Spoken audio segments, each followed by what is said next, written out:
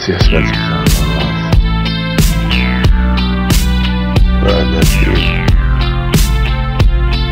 I'm giving you a night call to tell you how I feel.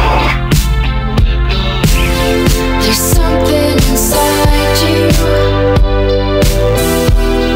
It's hard to explain.